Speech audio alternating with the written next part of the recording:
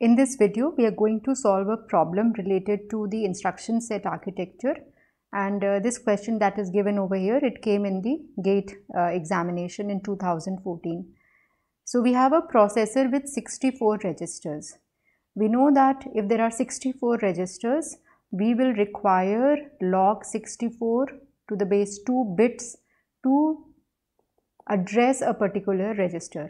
So probably if we call them by their name like R0, R1 to R63, then in, uh, in binary format, they would require log 64 bits to represent them. So log 64 is 6 bits. So R0 would be represented as 0, 0, 0, 0, 0, 0, R1 by 0, 0, 0, 0, 0, 1 and so on. So if there are 64 registers, we need 6 bits to represent each register.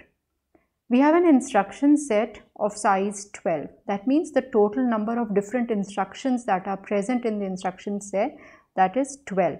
So how will we encode the opcode? Each instruction will have an opcode. So how many bits will be required for the opcode? Again we take log of 12 to the base 2 and take the ceiling. So this would result in 4 bits for the opcode or to specify each instruction.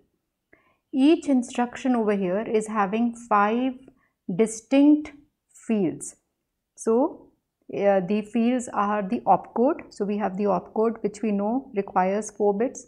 There are two source register identifiers. So there are two source register identifiers. So each is requiring 6 bits there is one destination register identifier. So again, this is again a register. So this will, will also require 6 bits and a 12 bit immediate value. So this is the 12 bit immediate value. So each instruction must be stored in memory in a byte aligned fashion. That means if suppose if this is the memory and uh, suppose these are the bytes over here that means each instruction that is stored should be stored in a byte aligned fashion. It cannot start from the middle of a byte. The bytes have to be aligned. So they are asking if a program has 100 instructions, then how much of memory will be consumed.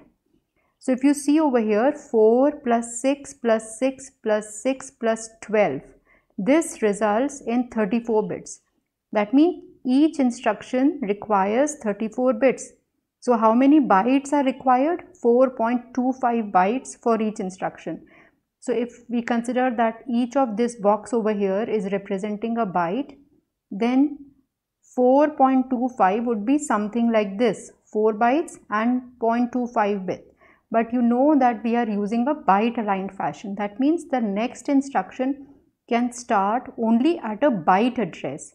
So how much space would be required for each instruction? 5 bytes. We cannot start any instruction in the middle of a byte. Next instruction or next data that is to be stored would be put only after 5 bytes.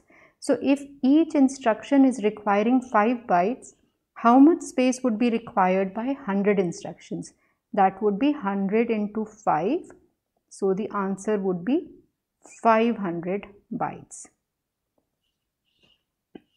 Let's take another example. So we have a processor which is having 16 integer registers. So any processor which is supporting floating point operations would have separate integer registers and separate floating point registers. So the integer registers are 16, so R0 to R15. So if there are 16 integer registers, we know that log 16 that is 4 bits would be required to represent or address these integer registers. Then we are having 64 floating point registers. Let's call them F0 to F63. To code them or to address them, we will require log 64 which is 6 bits to represent these registers. Now this processor uses a 2 byte instruction format. Okay, so that means each instruction is having 2 bytes and there are four different categories of instructions type 1 type 2 type 3 and type 4 type 1 consists of 4 instructions. And what is the format of type 1 category? There are 3 integer register operands. So there would be the opcode which would define the kind of instruction it is and there would be 3 integer reg register operands. So one integer register operand, another integer register operand and another one. Each integer register operand we know requires 4 bits. So this is 12 bits.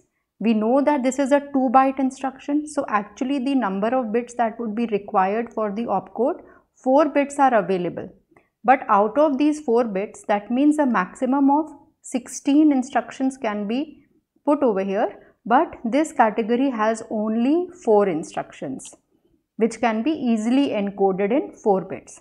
So how many different kinds of combinations can be formed with the type 1 instruction? So 4 instructions and each opcode over here can have 2 to the power of 4 combinations of this integer register.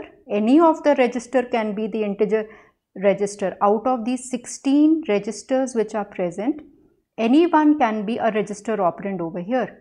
Similarly, any register can be an operand over here. So, again there are 2 to the power of 4 options available. Here also there are 2 to the power of 4 options available. So, for each instruction these many options are available. So, how many options are available with 4 instructions? 4 into 2 to the power of 4 into 2 to the power of 4 into 2 to the power of 4. Now the type 2 category, it consists of 8 instructions, each with 2 floating point register operands. So the type 2, there would be an opcode and then there are 2 floating point register operands. We know that each floating point register requires 6 bits of address, so 6 bits and 6 bits. This is 12 bits. So out of the 2 bytes that means out of the 16 bytes again we can give 4 bits to the opcode and in this 4 bits we can easily encode 8 instructions. So how many combinations of this can be formed? 8 into 2 to the power of 6 of the floating point register the first operand and 2 to the power of 6 of the second operand. So these many combinations are possible. Type 3 category consists of 14 instructions.